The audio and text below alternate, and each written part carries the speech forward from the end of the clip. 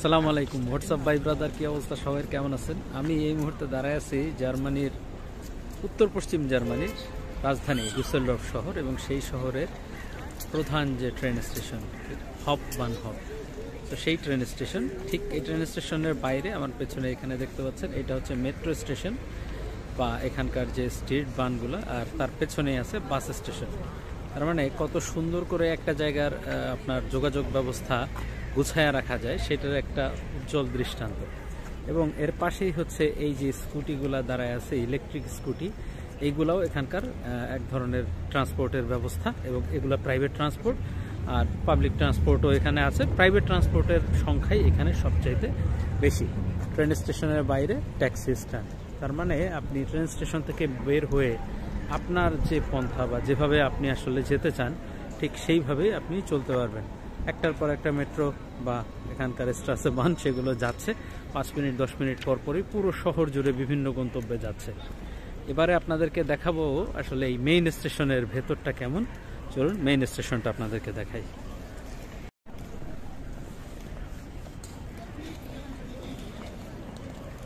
এইটা হচ্ছে মেইন স্টেশনের প্রধান ফটক। টুসেলডর্ফ হববান হব স্টেশনের ভেরোতে বেরোয় বাংলাদেশের মতো এরকম ছোট ছোট দোকান আছে। একই সাথে বিশাল একটা বিলবোর্ড আছে। এই বোর্ডের ভেতরে কোন কোন জায়গায় ট্রেন কখন ছাড়তেছে, যাচ্ছে, আসছে সব কিছু দেওয়া আছে। শুরুতেই এই পাশে হচ্ছে টিকিট কাউন্টারের মতো। এগুলো বেসিক্যালি টিকিট কাউন্টার না, এগুলো ট্যুরিস্ট ইনফরমেশন সেন্টার তো এখানে টিকিট কাউন্টার ওইভাবে নাই। টিকিট আপনার মতো করে আপনি কাটবেন। টিকিট কাটার জন্য এরকম ছোট ছোট বুথ দেওয়া আছে। আর অনলাইনেও টিকিট কাটা যায়। এই বুথগুলোতে দাঁড়ায়, যারা যারা টিকিট কাটার দরকার, টিকিট কাটা নেয়। তো টিকিট কাটা খুবই ইজি তো ট্রেন স্টেশনের ভেতরগুলা ঝকঝকা চকচকা, এই যে সবসময় পরিষ্কার পরিচ্ছন্ন করতে থাকে। এই যে পুলিশ হাঁটতেছে একটু পর পর, আমাকে এসে ধমক ধমকও দিতে পারে। এই স্টেশনে অনেকগুলা লাইন, মোটামুটি বিশটা লাইন আছে। এখন আমি দাঁড়ানো হচ্ছে চার নাম্বার লাইনে। একটা সিঁড়ি দিয়ে দুইটা লাইনে ওঠা যায়, এক চার আর পাঁচ। তো এরকম এই পাশে হচ্ছে ছয় থেকে বিশ আর এইদিকে এক থেকে দুই। তো কোন দিকে গেলে আপনি কোন জায়গায় যাবেন সেটার একটা দিক নির্দেশনা দেওয়া আছে, স্ট্রিটগুলোর নাম দেওয়া আছে বা বাস, ট্রেন, ট্যাক্সি কোথায় পাবেন সেটাও দেওয়া আছে। সেই পুরাটার ভেতরে ঘুরে আপনাদেরকে দেখায় লাভ নাই। এই ট্রেন স্টেশনগুলো হচ্ছে, এটা হচ্ছে নিচের ফ্লোর। আর আপনি মানে এটা মেইন রাস্তার সাথে যে প্যারালাল ফ্লোর স্টেশনগুলো হচ্ছে সব উপরে। তো আপনি সিঁড়ি দিয়ে উপরে উঠবেন, উপরে উঠলে আপনি স্টেশন পাবেন।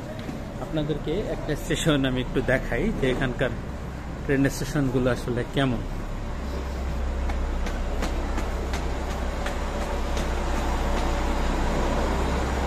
আচ্ছা নর্মালি বেশিরভাগ স্টেশনে এই ধরনের সিঁড়ির পাশাপাশি স্কেলেটার লিফটেরও ব্যবস্থা থাকে। আমি লাইনে সিঁড়ির ব্যবস্থা নাই। তো এটা হলো একটা স্টেশন এখানে দুইটা প্ল্যাটফর্ম পাঁচ প্ল্যাটফর্ম চার, ওইখানে আপনার টাইমটা দেওয়া আছে। আর এই যে ট্রেনগুলো দাঁড়ায় আছে যার যার মতো, এই ট্রেনগুলো ছেড়া যাবে একটু পর পর গন্তব্য অনুসারে। আর এই ট্রেনের স্টেশনের নিচতলাতে আরেকটা মজার জিনিস আছে। চলেন সেইখানে নিয়ে যাই। ট্রেন স্টেশনের নিচতলায় আছে হচ্ছে উবান এটাও একটা স্ট্রিট বানের মতো মানে মে- ট্রামের মতো বাট এই ট্রামগুলো একসাথে দুই জায়গাতেই চলে। মাটির উপরেও চলে, মাটির নিচেও চলে। তাহলে আপনাদেরকে একটা উবানে নিয়ে যাই। ওই যে এখানে দেখেন ইউ লেখা আছে। এবং একটা সিগন্যাল দিয়ে নিচে আরও দিয়ে দেওয়া আছে। তো এখানে দেখেন উবান, এটা আমার স্টেশন আর কি, আমি যেখানে যাব, সেই জায়গা তো এই স্টেশনের নিচে যে লিফটের কথা বলছিলাম, এখানে সিলেটারের লিফট আছে। আমরা আমি এখন নিচে নামতেছি।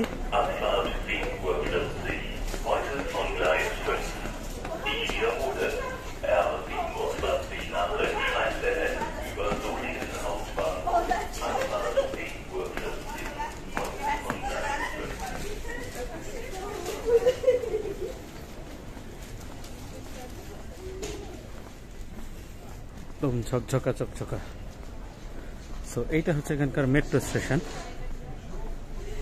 ওই যে। আমি যাব হচ্ছে সেভেন্টি সিক্সে ক্রেফেল রাইনস্ট্রাসে চার মিনিট পরে আসবে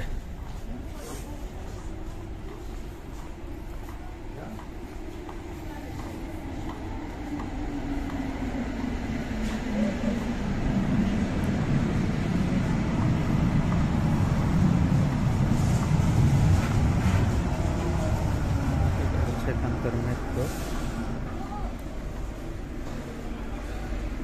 এই বড় লিফটেরও ব্যবস্থা আছে, যারা লাগেজ টাগেজ নিয়ে আসবে তাদের জন্য। আবার এই ধরনের এক্সেলেটার লিফটেরও ব্যবস্থা আছে। চলন্ত সিঁড়ি। তো দুইটাই আছে। মেট্রোগুলো কিন্তু দেখতে সুন্দর না। আমাদের বাংলাদেশের মেট্রো অনেক সুন্দর। এগুলো অনেক পুরাতন। সব মানুষজন দাঁড়ায় আছে যে যার মতো উঠবে। তো মোটামুটি এই হলো ট্রেনের ভেতরটা কেমন সেটাও একটু দেখায় এটা মেট্রো মেট্রোর ভেতরটা খুব বেশি ভালো না।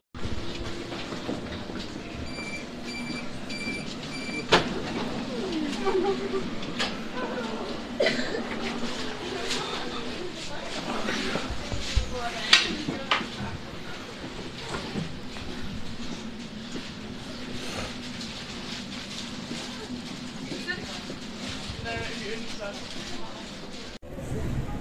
মোটামুটি এই হলো ডুসেলডর্ফ শহরের যে প্রধান ট্রেন স্টেশন সেই ট্রেন স্টেশনের বৃত্তান্ত।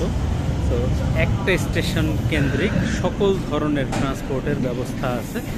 আপনি মেট্রো বলেন বাস বলেন ট্রেন বলেন, তারপরে ট্রাম বলেন, সবই আছে। এইটা একটা ট্রাম যে আসছে। তো এখানকার মানুষজন সব ট্রামে উঠতেছে। কোনো কাউন্টার নাই, কোনো কি বলে এখানে? কন্ট্রাক্টর নাই। সবাই যার যার টিকিট শেষে কাটে। এখানে বেশিরভাগ মানুষ অ্যাডভান্স টিকিট কেটে রাখে, তার মানে বাৎসরিক বা মাসিক অথবা সাপ্তাহিক টিকিট কেটে রাখে। আর যারা নিত্যদিন টিকিট কাটে, তাদেরও টিকিট কাটার জন্য এখানে পর্যাপ্ত ব্যবস্থা আছে। তো জাস্ট টিকিট কাইটা ট্রেনে উঠে গেলেই হলো। চেকার নাই বা কন্ট্রাক্টর নাই বলতেছি, এটার কারণ হচ্ছে বেশিরভাগ সময় কন্ট্রাক্টর থাকে না।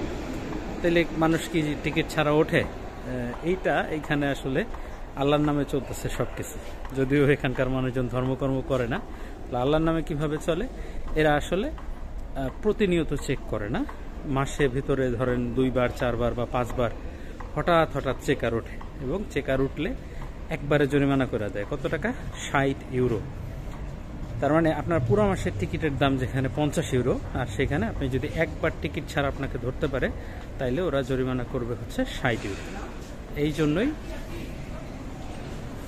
এই জন্যই আসলে এখানকার মানুষজন এই কখনোই ট্রেনে বা বাসে, ট্রামে কোথাওই টিকিট ছাড়া খুব একটা ওঠে না। খুব রেয়ার কেস একজন, দুইজন, ইদানিং তো অনেক দেশের মানুষ আসে তো সেখান থেকে দুই, চারজন এরকম বের হইতে পারে যারা টিকিট ছাড়াও ওঠে, উঠলেই জরিমানা করে দেয়। এবং একবার জরিমানা খাইলে আর জীবনও এই কাজ করবে না, কারণ তিন টাকার টিকিটের জন্য ষাট ইউরো আপনাদের জরিমানা গুনতে হবে। ভালো সিস্টেম না? একদম সো ভিডিওটা কেমন লাগল জানাবেন। আর আপনাদের ঢাকা শহরের মেট্রো তো সবাই দেখছেন। এই জন্য আমি ভাবলাম যে জার্মানির মেট্রো স্টেশন বা ট্রেন স্টেশনটা কেমন, সেইটা একটু আপনাদেরকে দেখায় দিলাম। কোনটা ভালো, সেটা কমেন্ট বক্সে লেখা জানান। যে ঢাকারটা বেশি সুন্দর নাকি জার্মানিটা বেশি সুন্দর? ওকে আল্লাহ হাফিজ। টাটা।